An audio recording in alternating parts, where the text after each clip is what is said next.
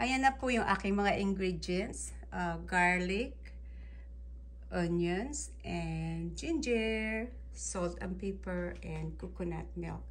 Ito po, uh, mackerel na isda ang aking uh, naprito na. Kaya, um, dalawa lang, dalawa lang aking lulutuin dahil ako lang naman kakain. Yung mga, yung pamilya ko hindi to kakain. So, dalawa lang kinuha akong mackerel. At saka yung malunggay. Moringue in English? I think so. Yeah. Uh, yan ang lalagay kong um, gulay, malunggay.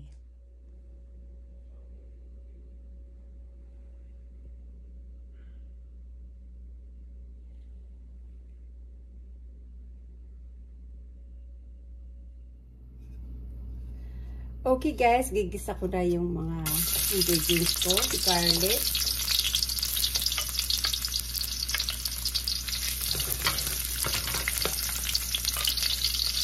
onion, sibuyas, sa pang-alog.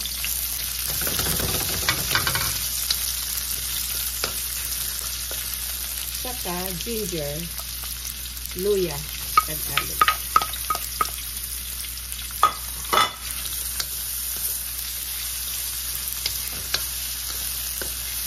Madali lang po itong lutuin. Kaya subukan nyo ito sa bahay. Madaling madali. Ayan, yung coconut milk. Tapos pag kumulo na yung coconut milk,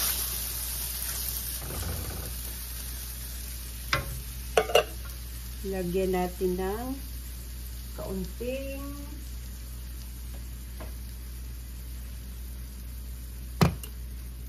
lagyan natin kaunting um, black pepper And then, salt, asin. Hello dyan sa mga taga-kagamutan na nanonood sa akin. Kamusta po kayong lahat? Luto tayo ng Pinoy na Pinoy na pagkain. Naalala ko itong kabataan ko. Linuluto to ng nanay ko. Ayan.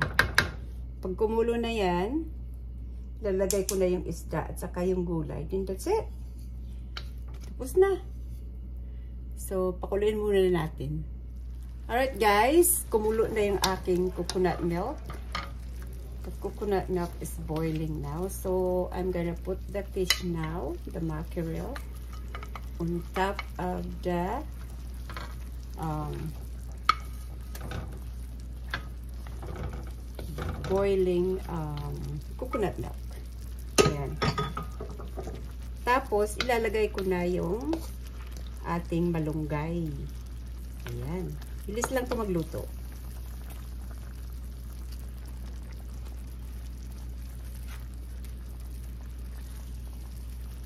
Yan guys, oh. Pakukuluan natin yan yung isda ng coconut para sip-sipin yung um, gata sa isda para lalong sumarap yung isda. Okay. Ito ay nasipsip na yung um, gata sa isda. Ayan. So, hindi na masyado siyang uh, may uh, hindi na siya masyadong maraming gata. Kaya lalagay ko na yung um, malunggay na yun ang nagpapasarap sa o oh, ginatang mackerel. Mackerel with coconut. Ayun. Sandali sabi ko sa inyo malabit na ano lang ito magluto. Eh mabilis. Ano pag prito na yung ano mo yung isda mo ayos ang bilis pero kakainin ko na to bukas kasi kumain na ako ng dinner. Para bukas hindi na ako magluto. Ayan ang tiknon technique para mabilis. Pagdating mo galing ng trabaho, may kakainin ka na. Yun nga lang. Okay? Magluluto pa ako sa asawa ko. Kakainin niya sa yung pamilya ko. Ayan. Ang sarap nito. Grabe oh. Sarap.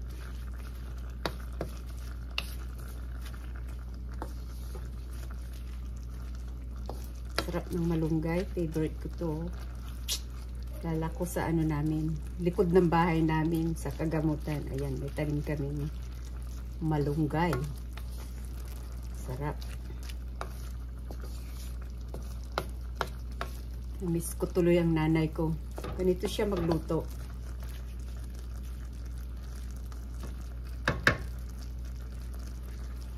Tingnan mo naman.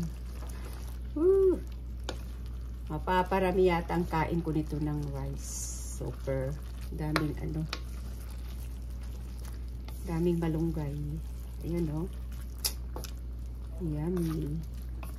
Lutong Pinoy tayo ngayon. Pinoy na Pinoy ang pagkain natin. Ayan. Luto na siya. Oh, nakakita pala ako ng ano, ng chili pepper. Yung labuyo ba sa atin, pero dry na dito. So, lalagyan ko siya ng ilang piraso. Ayun. Para may kaunting lasa siya. Medyo maanghang ng kaunti.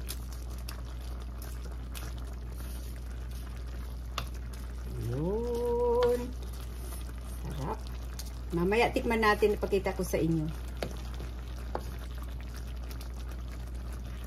Grabe, ang sarap.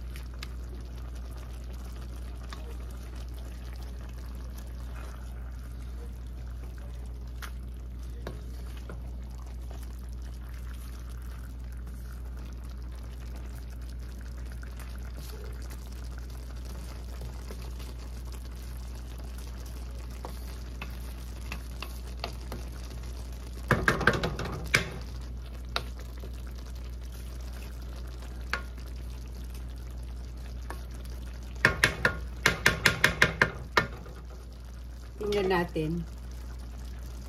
Habang kumukulo. Na guys, yung finished product ko, oh, tingnan mo. Hmm. Sarap, sarap. Daming kanin makakain natin ngayon. So, um, tikman na natin. Maya-maya lang lang kaunti. Pero luto na to. Yan na yung uh, finished product niya. Mackerel with coconut. Sarap.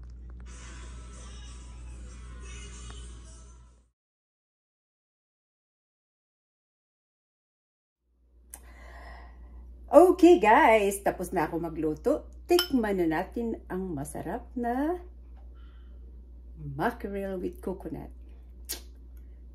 No, may kasama pang malunggay ha. Malunggay. Tikman muna natin yung malunggay kasi ito yung favorite ko. Of course, favorite ko rin yung mackerel. Mmm! Ang sarap po. Tikman natin yung isda. Yung mackerel.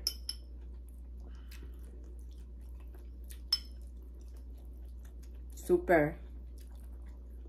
Ito isda, oh. Hmm. Sarap. Nasip-sip yung ano, yung gata sa isda. Kaya, malal, ma, mailinamnam yung lasa ng isda. Kasi nasip-sip yung uh, gata. Ang coconut oil. Nasip-sip niya. Kaya ang sarap-sarap. Ang daming kanin. I need more rice more rice. Ayan. Sarap po. So, mga nagpapabati po dyan, um, hello sa inyong lahat, lalong-lalo na mga manonood ko, mga sub subscriber. Um, thank you for uh, your support sa lahat ng mga nanonood. Mga kalahi ko, mga kagamutan nun, uh, Samar, mga Samarinyo, lahat-lahat ng mga waray of you know, everybody. Hi and thank you for all your support. Sige, tapusin ko na to yung ano. Bless you, my husband. Bless you. That's my husband, his niece. So, um, thank you all for all your support again. Uh, don't forget to like, share, comments below, and subscribe. Salamat po. Bye-bye. Till my next vlog.